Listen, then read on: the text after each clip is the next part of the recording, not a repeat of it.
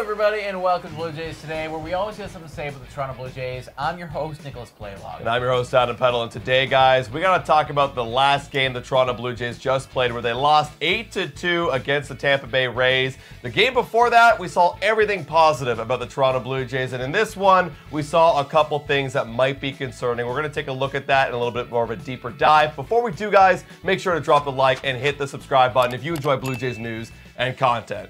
So, first of all, Nick, we lose today. We actually just watched the game live on our YouTube channel. Mm-hmm.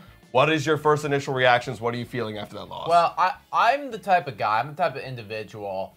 I like to start with the good. And I do think that there is still a very positive takeaway from this game alone, and that is George freaking Springer, man. There, there was a lot of conversations this entire offseason about what are we going to get from the vet, George Springer? You know, he's halfway through his contract right now, and a lot of people are saying, we talked to Ben Nicholson Smith about this, we talked to several other guys about this, saying, this probably isn't what you anticipated or what you expected when you decided to pay this guy as much money as you decided to pay him.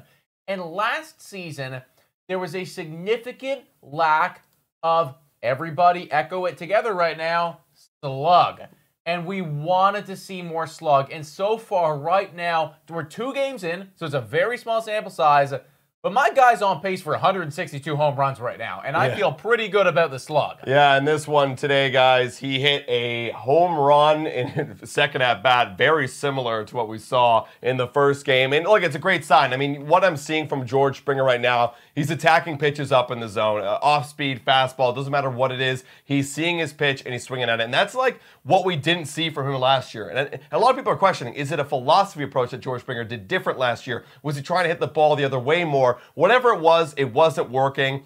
And what we're expecting is Don Mattingly to come in and get these guys back to their strengths. And we're already seeing a great example now. Is he going to hit 162 home runs? No. But I'm seeing a good approach right out of the gate from George Springer. And it's a lot of positive and a lot to love because what you're saying is, yeah, we got to get some value in this fourth year of his con- contract. Yeah. And having a locked in leadoff guy that, you know, instills fear into the opposing pitchers. That's something that we missed last year, and it was what we signed George Springer to do. Having Springer come out and be the Springer of old, right? The guy that he was with the Houston Astros, or even the guy that he was with the Toronto Blue Jays in like the first two years yeah. of his career.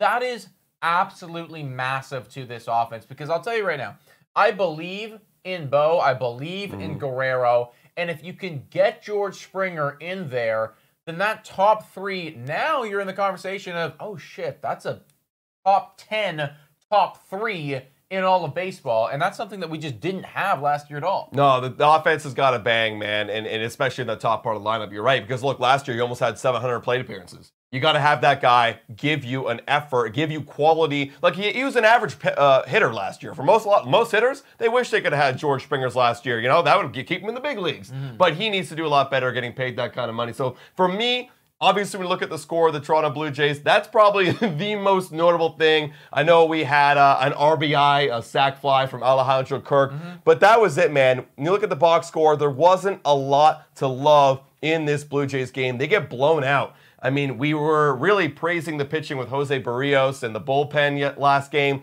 but this one, you had Chris Bassitt on the mound, and we did not get a similar result. I thought for the first two innings he was cooking, and then we started walking guys, and then we had some big errors on the on the defensive side of things. Let's get into that a little bit, but let's start with Chris Bassitt. I yeah, mean, there's not his, that. There's his line right yeah. there, everybody. Five innings pitched, six hits given up four earned runs. Now, five actually did come around the bases. We're going to talk about the errors later because he was mm. charged with that last one. But ultimately, it's not the start that you want to see from Chris Bassitt. Am I worried about the season? Not at all. I mean, I tweeted this out saying that I'm not worried about him in the slightest. Um, I think that today. I think that today we leaked a couple, a couple too many over, and um, and he was attacking the strike zone which I really like. I I, I always will uh, you know uh, commend a, a, hitter for or a pitcher, excuse me, for attacking the strike zone because I prefer that than you dancing around and walking a bunch of guys because that's just the worst thing, and we've seen that before. Chris Bassitt was going after the strike zone. But it was a little bit too easy. And you're up against the Tampa Bay Rays lineup, who was really good at baseball last year, guys. They were really damn good at baseball, and they just got after you. I was actually in the washroom when he gave up that grand slam, but I mean, you were telling me that it was a middle middle fastball. You're going against Brandon Lowe. Mm-hmm. The guy can bang. The, We know that this guy is capable of, of putting 30 over the fence at the end of the year. And he took your yard for 444 feet. And there Yeah, it is. there it is. Middle middle. Yeah, a lot of his fastballs, right? Look, Bassitt, he even said it uh, in this offseason. Look, uh, velocity, you know, he doesn't like the whole velocity thing because that's not a pitching, right? You're not really pitching, you're just throwing gas. Well, if you want to throw at your velocity, you know, Chris Bassitt, I think he knew, would know this. He can't leave middle, middle fastballs over the heart of the plate to Brandon Lowe. Uh, you miss right here, you know, foul ball, and then you leak one over, right? So I think, yes, the fastball was catching too much of the zone. Even that sweeper, he has so many pitches. Even the sweeper was missing a lot. He didn't really have much command of that. That was making him fall behind in counts. But the most important thing is you can't live here, especially when you're throwing at his velocity. You got you could get some over with that beautiful curveball he's got. Yeah. People are not sitting on that. But if you're getting a cookie like that, you're going to see runs like that come home. I agree, man. I mean, I don't want to take. Uh, I don't want to completely like hate on this guy because again, there, there were some really good innings of work here. Like in the first two innings, it looked like he was hooking. In fact, the first inning, it was three up, three down, three oh, strikeouts. Oh, yeah, first four guys, four strikeouts. Yeah, yeah. And, and it was like, oh my gosh, I Chris Bassitt, the hound on the mound, is but- popping off. Because he was locating though. You know, he was locating that slider, he's locating the sweeper, locating the curveball, using the fastball, but then for whatever reason, he wasn't getting calls again from the umpire. There was an umpire factor, maybe a little fraction in there, but also, yeah, you, you, there's no excuse for that one right there. But again, it's the first start of this season. Like you said, I'm not worried in the slightest. He got blown up against St. Louis last year. Yeah. Look what he ended up with. Look at his great ERA at the end of the year. Chris Bassitt, I would rely on in a wild card uh, series, no problem. I completely agree, man, and I- I just I think that this is just one of those things that's going to happen. It's the beginning of the year. I'm not going to put too much on it. Uh, again, like Tropicana Field is really really difficult. Uh, it does suck that you lost in this capacity, eight to two, because right now it's like we're coming off of that massive win, Yep. winning eight to two, and at this point we're one and one, and we've gotten ten runs and they've gotten ten runs. So you could argue that we are legitimately like exactly equivalent right now. Yeah.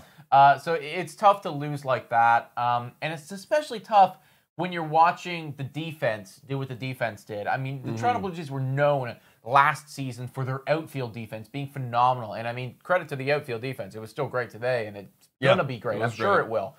The infield, not as much. Time for a quick shout out to Betway. Betway is the best place to make all of your sports bets on all of your favorite teams. Betway is also in collaboration with iGaming Ontario. Must be 19 years older to participate. And guys, please bet responsibly. Now, back to the content. Yeah, we had three errors on the infield. One from Wes Parsons, who came in, and then two from Bo Bichette. I mean, this was one example. I mean, we were watching the live play-by-play, mm-hmm. and look, this is a tough play. You're ranging back. He's already in the outfield, shallow outfield. It's a tough throw. It's an in-between hop. Honestly, it's the weakest of errors. Like, I really don't think it's it's a problem. Like, it's a hard. Like, Bo doesn't have a strong arm. Yeah. And, and Bo, Bo, all you got to do is get it on target. It just so happens it was an in between hop, and Vladdy could not be able to get that into the glove. So that's an error. But there was another error where he bobbled it. He had to shovel it over to Cavan Biggio. He was safe at second. They tried to go to first. He was also safe. So that is an error too. It's tough to see, especially with Bo Bichette, because Bo Bichette, we all praised him last year for the defensive improvements he made in his own game. Overall, the entire MLB, he's still below defender in the in that infield.